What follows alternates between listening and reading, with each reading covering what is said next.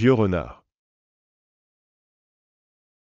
Vieux renard est une expression française qui désigne une personne expérimentée et rusée, une personne qui a beaucoup d'expérience et qui sait comment s'y prendre pour réussir.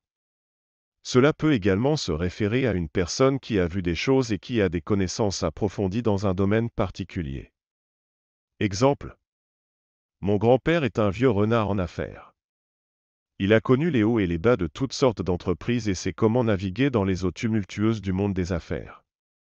Mon professeur d'histoire est un vieux renard en ce qui concerne la politique et l'histoire. Il a enseigné pendant de nombreuses années et a acquis une vaste connaissance de ce domaine. Ce politicien est un vieux renard, il sait exactement comment manipuler les médias et le public pour gagner des votes.